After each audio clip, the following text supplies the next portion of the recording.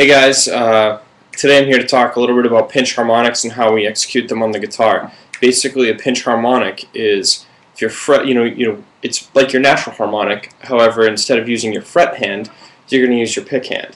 So with our natural harmonics, you, know, you have to have that light touch to get the going on. It's kind of the same concept, but with the side of your thumb or the tip of your index finger. You know, there's other ways. You know, your ring finger touching the string as well basically how I like to execute them is, uh, let's see if you can see that there, so I choke up on the pick a little bit. So when my hand is, see, what's that? When my hand is um, in resting position, the side of my thumb and the tip of the pick can rest on the string. So happens. So you know, one of the things you can do is fret a note, you know, your fifth fret of your G, for example, and just fish for the, the right spot all along the G and um, see what happens.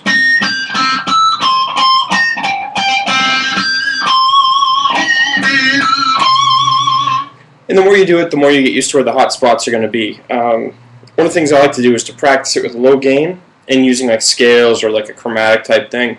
You know, maybe just walk my pentatonic up and down, trying to get pinch harmonics on each of the notes.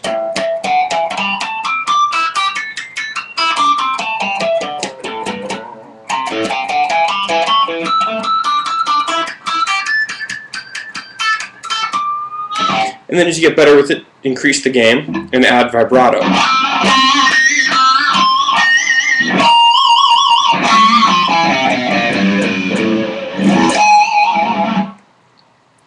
Alright, so I hope that helps. Um, if there's any questions, just feel free to email me back. Thank you.